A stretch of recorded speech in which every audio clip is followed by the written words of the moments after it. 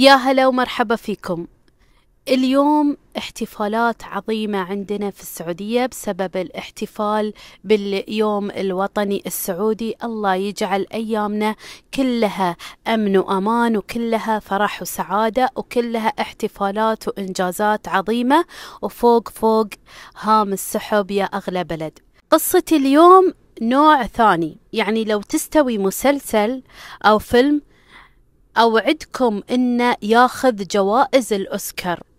فيه يعني من الأشياء العظيمة من الدراما من الأكشن الشيء الكبير. خلونا الآن ندخل بتفاصيل القصة. حصلت هذه القصة بالضبط في الأردن وبالتحديد في منطقة يسمونها الزرقاء وهذه القصة صارت في زمن الستينات. كان في رجل اسمه أبو عبد. هذا الرجل كان له منصب جدا محترم وكان يدرس في إحدى الكليات اللي موجودة في الزرقاء. كان ذاك اليوم طالع وكان في ذيك الفترة فترة حروب.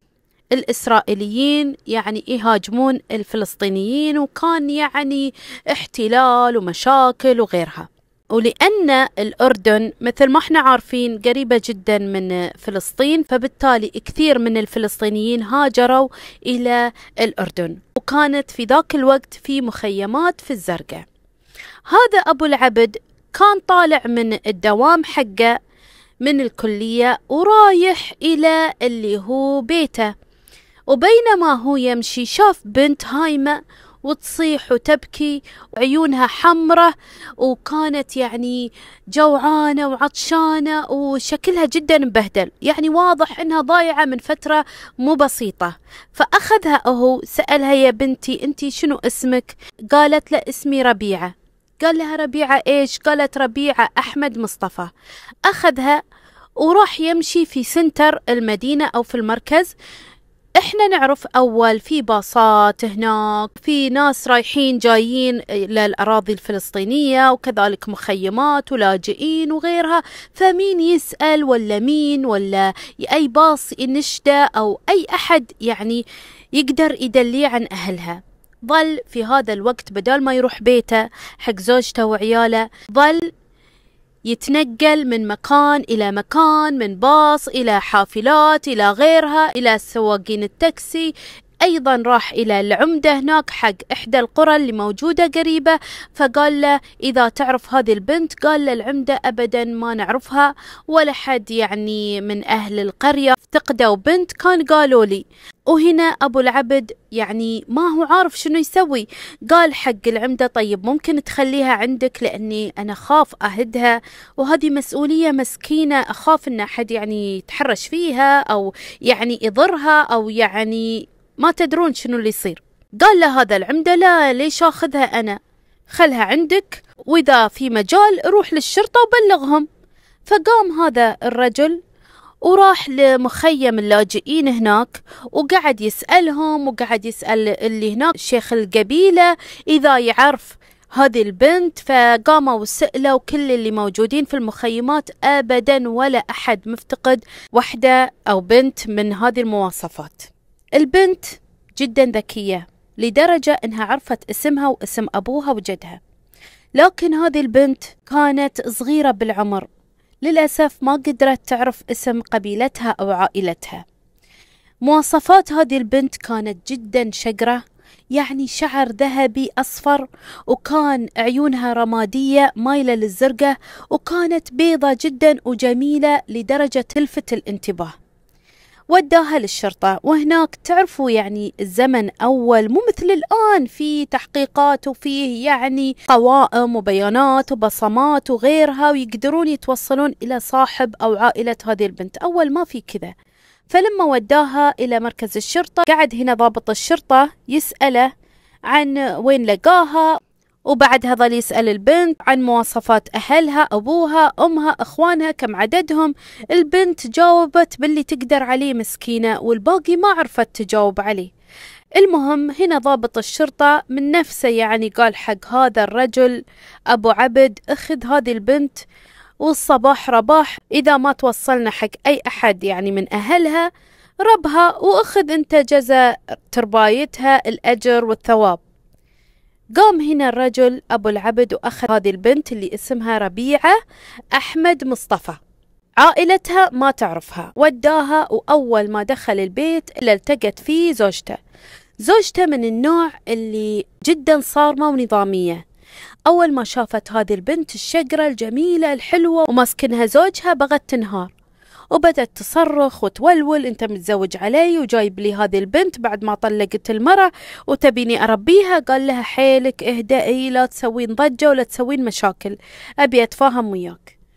قال لها القصة إنها هذه البنت ضايعة ويبي يسأل عنها بين الناس ويبي له يعني فترة لحد ما يلقى أهلها إن شاء الله إذا لقاهم بيعطيهم إياها لكن إذا ما شاف لهم أي خبر بيخلي البنت عنده.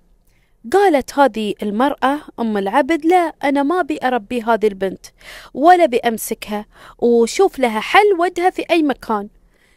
هنا فعلا اليوم الثاني أخذ إجازة هذا أبو العبد من الجامعة وراح يسأل ويستفسر ويعني يفصفص من نفسه الأردن شبر شبر وبالذات في الزرقاء لأنه شافها فيها وهو أيضا ساكن في الزرقاء.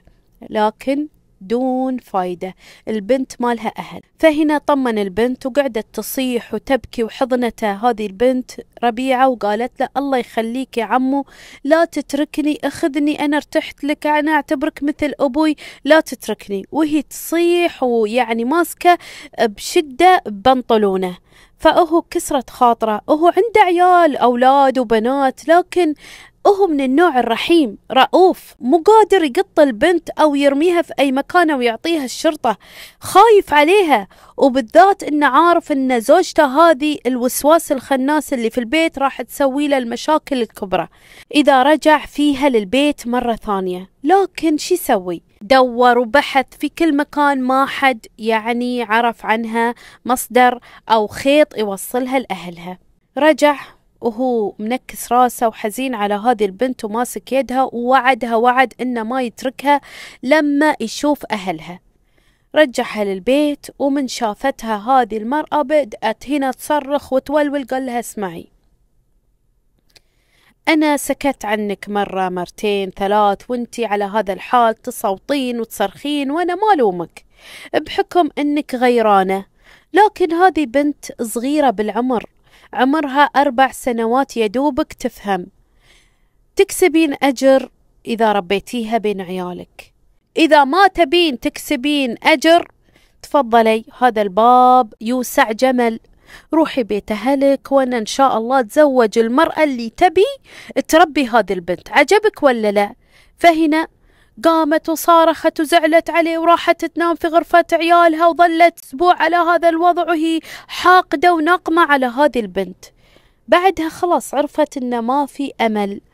أبو العبد متشبص ومتمسك براية إنه يربي هذه البنت بأي حال من الأحوال. اقتنعت وخافت على حياتها إنه يطلقها أو يتزوج عليها زوجها وظلت راضخة بالأمر الواقع. لكن انتو تعرفون المرأة إذا حقدت حقدت. وإذا نغرت نغرت يعني غارت. فقامت حطت كل غيرتها على هذه البنت. خصوصا إن أي ضيوف يزورونها أو إذا راحت بيت أهلها يعني تأخذ وياها هذه ربيعة. كل ما راحت مكان ينصفعون الأهالي والجيران والمعارف على جمال وجذابة وكاريزما هذه البنت الخلاب. والكل يسألها ويقولون لها الناس تعرفون كلامهم ما يرحم. شلون جبتي هذه البنت؟ البنت هذه جميلة البنت هذه حلوة مو مثل عيالك ما تشبه لهم. عيالك بيض بس هذه غير هذه مختلفة هذه كأنها يعني قمر نازل من السماء. فبدأ هنا الغيرة تشب في قلب أم العبد. فشوي شوي بدأت تزيد عليها الكيلة. يعني الصباح تقول لها يلا قومي كنسي البيت. تخليها مثل الخادمة تقوم وتنظف وتكنس وتطبخ وهي من عمر صغير. يعني كأنها ماخذتنها مثل الجارية حقتها. وكل ما قرب يجي أبو العبد تحاول إنها تخليها ترتاح. استمر على هذا الوضع لما البنت بدأت تبي تدخل المدرسة. فهنا قام أبو العبد وخذ البنت وراح للعمدة العمدة يعرف قضيتها ويعرف المشكلة حقتها. وبدأ هنا يشتكي له شنو يسوي يبي يدخل هذه البنت المدرسة. فهنا تعاون هذا اللي هو عمدة القرية مع أو المختار اللي يسمونه هناك مع ضابط الشرطة اللي كان معاه علاقة. إنهم يعني ينسبون هذا الرجل مو أبوها لا يكون ولي عليها اللي هو أبو العبد. بحكم أن البنت اسمها ربيعة أحمد مصطفى لكن العائلة أخذوا لها عائلة اللي هو أبو العبد. سجلوها بأوراق رسمية وفعلا تم تدخيلها المدرسة وكانت من المتميزات ومن المتفوقات. وكأن الجينات هنا تلعب دورها مع ربيعة كون إنها جدا متفوقة والكل يثني على امتيازها وشطارتها. عكس خواتها وكان عندها أخت في نفس عمرها. كانت مو مثل شطارتها ولا مثل نباهتها. كانت الأم بدال ما تفرح هذه أم العبد كانت تنغر وكانت جدا تحسد وضعية هذه البنت. ومو بس كذا كانت تتضايق إذا استدعوها المدرسة عشان يكرمونها بتميز ربيعة. يوم اللي تتكرم ربيعة يعني راح تلقى علقة من هذه أم العبد. والعكس تماما راح تلقى التكريم من أبو العبد اللي يعتبرها فعلا مثل بنته. سبحان الله.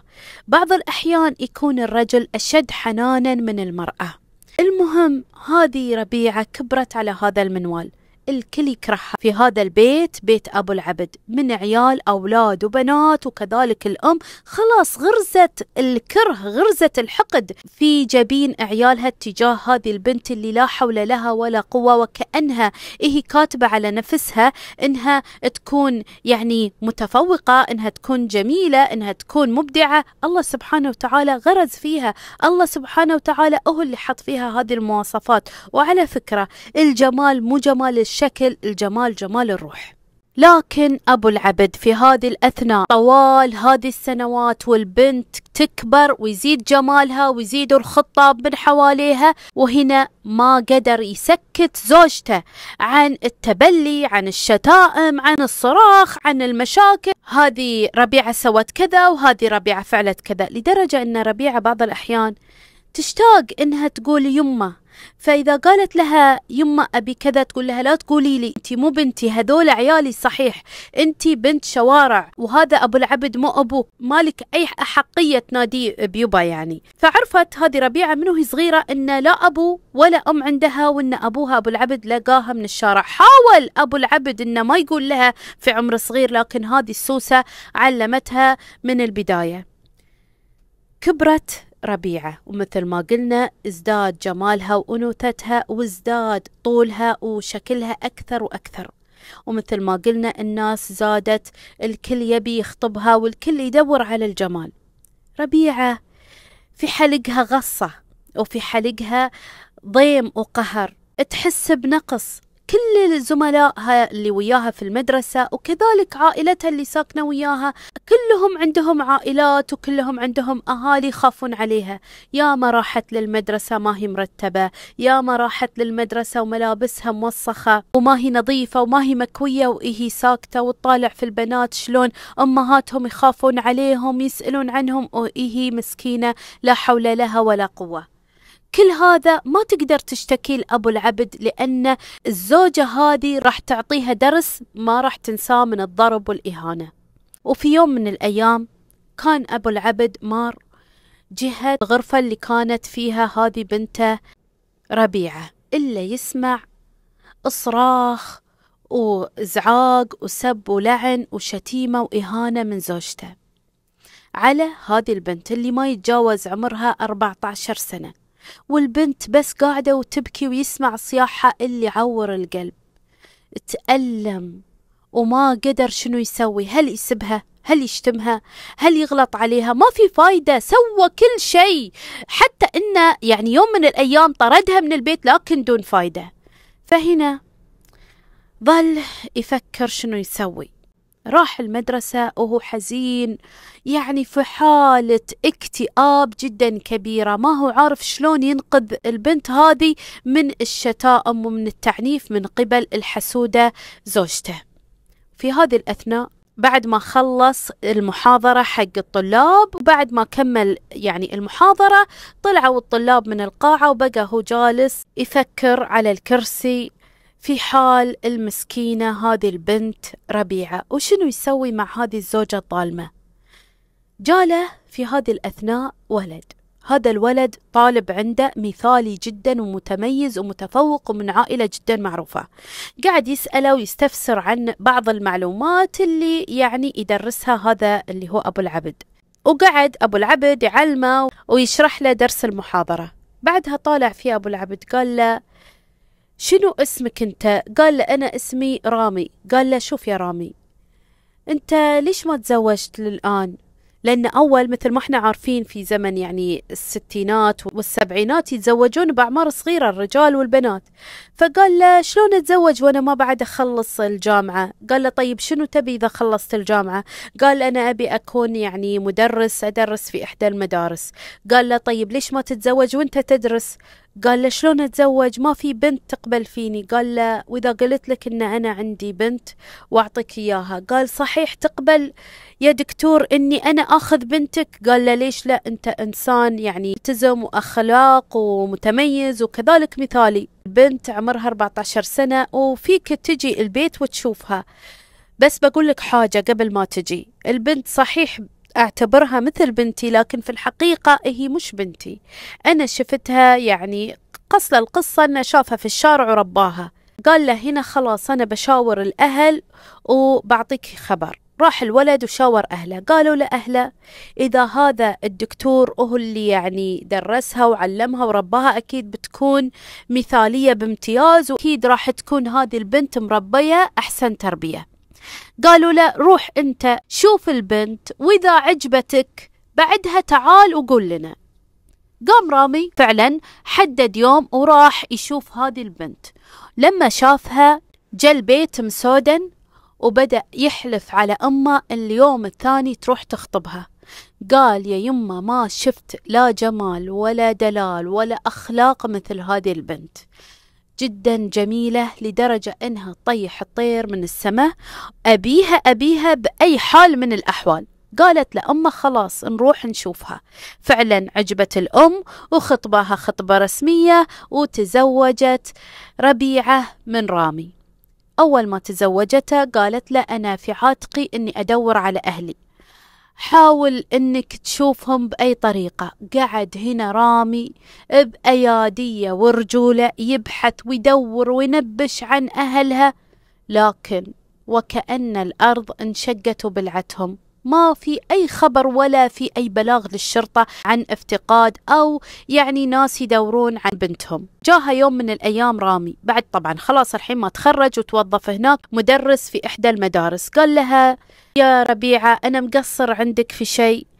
أنا ما دورت على أهلك ما سويت كل اللي تبينه. قالت له لا والله رايتك بيضة. قال لها أجل اسمعي. أنا شفت لي الآن وظيفة في الإمارات في إحدى المدارس. راتب ضعف الراتب اللي أستلمه هنا في الأردن. أبيك تساعديني ونحط يد على يد ونروح هناك. أهلك ما شفنا لهم خبر ولا شفنا لهم أي يعني خيط يوصلنا لهم. فأنتي تساعدي وياي نروح ونجمع فلوس وخلاص نسوي لنا مستقبل. هي ربيعة وافقت وفي قلبها حسرة إنها بتودع هذه الأرض وبتودع أهلها اللي ممكن ما راح تشوفهم ولا بأي حال من الأحوال. انتقلت ويا ربيعة فعلا إلى الإمارات وهي في قلبها مثل ما قلنا قهر وحزن وبكى ونحيب بسبب أن تبي الأم تبي الخوات تبي الأخوان تبي السند والعيلة. صحيح إنها تزور أبوها صحيح إنها بس تتصل على أبوها من هذه العيلة وتطمئن عليه. راحت ربيعة مع هذا الرجل إلى الإمارات وفعلا إلى أبو ظبي. هناك يعني عطاهم سكن وكان يعني يروح الدوام ويجي إحنا نتكلم الحين عن زمن السبعينات نهايته. كانت هناك شقق قريبة من بعضها وكانت هذه الشقق أغلبها من الوافدين اللي يشتغلون في الإمارات. تعرفت هنا ربيعة على وحدة من حسن حظها من الزرقة توطدت علاقتها وياها وكانت تحبها يعني كأنها شايفة أعز صديقة عندها.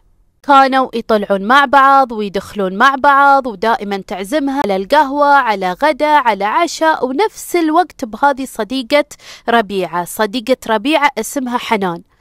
توطدت العلاقة وكبرت وكل ما يعني يجتمعون يسالفون في شتى أنواع السوالف. في يوم من الأيام جات حنان حق ربيعة. قالت لها أنا بروح الأردن. قالت ليش؟ قالت والله جارنا هذا جارنا المسكين طيب وحنون وكان يحبني وأنا صغيرة ويعطف علي. مات. وأنا الآن لازم أروح أي حال من الأحوال. قالت لها ربيعة الله سبحانك يا ربي. الحين أهلي لو يصير لهم حاجة أهلي اللي عايشة أنا وياهم ما أروح لهم. هذا رجل غريب. يعني ما تعرفينه بتروحين تحضرين العزاء. بس لأن جارك قالت إيه بس هذا لو تسمعين قصته صدقيني يا ربيعة يعني عينك تدمع بدل الدموع دم. قالت يلا عطيني أتحفيني شنو قصته يعني هذا؟ يعني أخذها الفضول إنها تعرف. قالت لها اسمعي القصة. هذا الرجل جاي وإستأجر بيت يمنه في الزرقاء لكن من سكنة ومعانا يعني وإحنا نسمع صياح وبكى ونحيب وحزن ودائما يعني صوت الأب آخر الليل يبكي وينوح. ما ندري ليش ولا ندري شنو سبب هذا البكاء. فقام أبوي وقال لازم أزوره. أعرف سبب هذا البكاء ممكن محتاج أو ناقصنا فلوس وإحنا لها. بعدها أبوي راح وزارهم وعرف إن هذا الأب مسكين ضايعة عليه بنت صغيرة. وتخيلي يا ربيعة إنها في سن عمري. يعني الآن ثلاثين خمسة وثلاثين سنة عمرها. ودائما كان يشوفني ويحسبني مثل بنته. دائما يعطف علي ويحن علي ووديني البقالة ويرحمني. وكذلك كان طيب جدا. ف هنا أهل الحارة دائما يعني يشفقون عليكم أنه يعني دائما حزين ودائما ما في شيء يفرحه ولا في شيء ينسيه عن فقدان بنته. وأهله كذلك قالوا أنه يعني فقد البنت من سنين طويلة جدا. قالت ربيعة معقول؟ هذه القصة اللي أسمعها حقيقية؟ تعرفين تجيبي لي الله يخليك اسمها واسم أبوها هذه المفقودة وعائلتها؟ قالت لها حنان يا ربيعة حيلك ليش؟ شنو تبين في تفاصيل هذا الكلام كله؟ قالت هذا شيء ضروري أنا أعرف بنت مفقودة بهذه المواصفات وبنفس العمر. قالت لها مين هذه البنت اللي تقولين عنها المفقودة؟ قالت تعرفين مين؟ أنا. أنا مفقودة ورباني اللي هو أبوي. ما قصر في تربيتي لكن هذا مو أبوي ولا هذه عائلتي. وأنا أدور من زمان على أهلي الحقيقيين للأسف ما شفتهم. ولا أحب أني أتكلم عن تفاصيل حياتي لأن الناس يعني يسألون أسئلتهم كثيرة وكذلك يعني أحس بغصة إذا تكلمت عن فقدان أهلي. ما أقدر أني يعني أسكت أو أتمالك نفسي. عشان كذا ما قلت لك يا حنان. قامت حنان قالت لها خلاص أنا الآن أتصل بأهلي وأشوف شو يقولون عن اسمها. راحت اتصلت على أهلها وقالت سألوا هذا الولد مع أن عندهم عزة عن أخته المفقودة. قال لهم أختي مفقودة اسمها ربيعة أحمد مصطفى. نفس الاسم حق ربيعة. قامت ربيعة وشهقت من الصياح وقالت الآن أنا بحجز وياك بروح إلى الزرقة أنا بروح لأبوي لأن أول تعرفون ما في بنت تقابل رجل مهما يكن غريب. قالت أنا بروح لأبوي وأنت عطينا رقم هذا الرجل اللي يعتبر ولد أبو ربيعة يعني المفترض يكون أخو ربيعة بس سنه كبير يعني مو بصغير في السن تقريبا في الخمسينات أو الستينات قالت لها أعطيني رقمه إن شاء الله نشوف حل. راحت قالت لزوجها زوجها فرح وعلى طول قص لها يعني تذكرة وراحوا إلى الزرقاء وراحت حق أبوها وخبرته بكامل التفاصيل. قام أبوها واتصل على هذا اللي هو أخو ربيعة وقال له والله إحنا عندنا عزاء بس خلني أقابلك في الليل إذا خلص العزاء لأن هذا موضوع بسبب أبوي يعني انصاب بأمراض مزمنة وتوفى. فعلا خلص في الليل العزاء وراح وقابل أبو العبد وكذلك ربيعة. أول شيء ربيعة. قالت له شنو يضمن لي إنك أنت فعلا أخوي؟ قال أنا عندي صورة لك وأنت صغيرة ومواليدك وتاريخك وكذا وكذلك في عين واحدة من عيونك وبالذات العين اليسرى فيها في البياض حقها نقطتين سود. قالت له صحيح أحسنت هذا فيني نقطتين السود في عيوني. قال لها هذه الصورة شوفيها رواها الصورة نفس الصورة اللي كانت هي صغيرة برضو أبو العبد مصورنها لما يعني كانت صغيرة عشان يعني إذا كبرت يوريها إياها.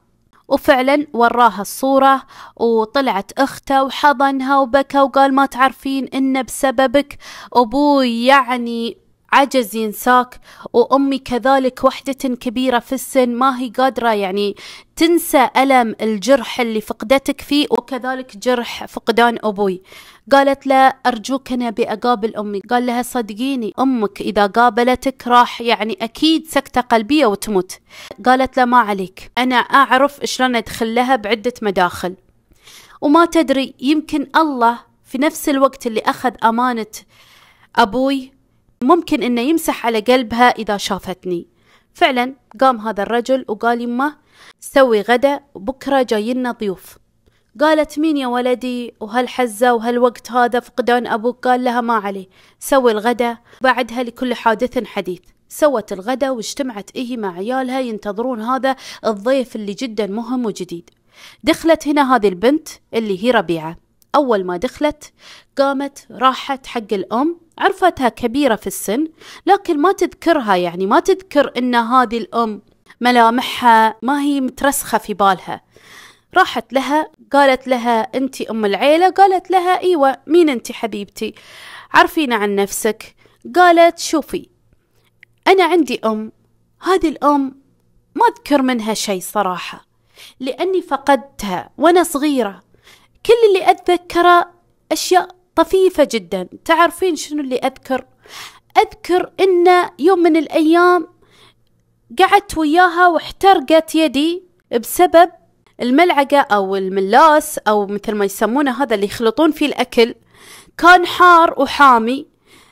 أمي أتذكر إنها حطت هذا الملاس أو المحركة أو الملعقة على يدي وبالتالي علمت على يدي طوال حياتي. وهذا صحيح إنه حرق لكن يا جماله من حرق لأن هذا يذكرني بأشياء طفيفة بجلسة شعبية وأنا جالسة أنتظر الأكل وأتذكرها قاعدة تصرخ وتحضني وتصيح علي. فقامت هذه وفزت مع إنها يعني العجوز يعني كبيرة في السن وتعبانة بس من شدة الخبر ومفاجأته مثل الصدمة عليها وقالت لها مين أنت يا بنتي؟ الله يخليك قولي لي. قالت أنا بنتك. وفتحت وكشفت عن ذراعها فعلا آثار علامة الكوية هذه موجودة في ذراع البنت لا زالت ما راحت. قامت هنا الأم على طول شبقت في البنت وحضنتها وبدأت تبكي. وفعلا كان هذاك اليوم بدل ما يكون تكملة العزاء سبحان الله كان بادرة فرح وسرور وسعادة عند ربيعة وعند عائلتها تعرفت عليهم كلهم. فعلا حست بحضن العائلة حست بحنانهم لكن بعمر كبير. ربيعة صار عندها الحين سبع عيال أولاد وبنات وكذلك خلاص يعني الوحدة إذا كبرت ما تحتاج حنان الأم مثل ما هي صغيرة.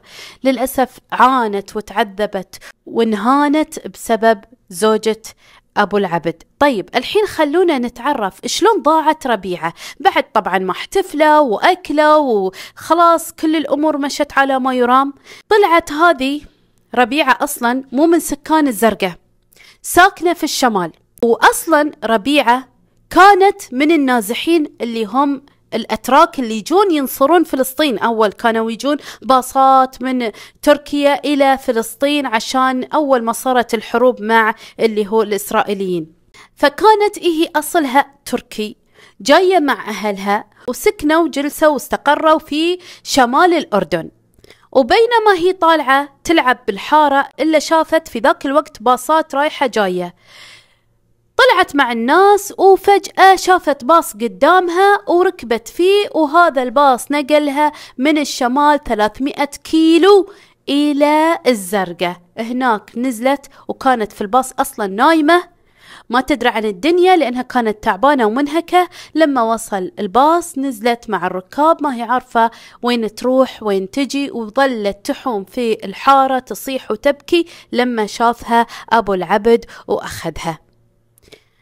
بعدها أهلها انتقلوا من الشمال شوي شوي لما فقدوا الأمل وراحوا إلى اللي هو الزرقاء. خلاص يأسوا وحسوا ووصلهم أخبار أن البنت انخطفت وما راح يشوفونها. للأسف أبوها ما شافها مات قبل يعني ما تبصر عينه. بنته حية ترزق وهي يعني بصحة وعافية. الحمد لله انلم شمل العيلة حتى لو كان يعني في وقت بعيد. طبعا هي ما تواصلت مع أهلها اللي هي أم العبد وبناتها وعيالها أبدا. فقط كان تواصلها مع اللي تعتبره أبوها الثاني أبو العبد. هذه نهاية قصتنا لليوم. انتظر تعليقاتكم على الفيديو لا تنسون تحطوا لي لايك واشتراك وتعليق على الفيديو.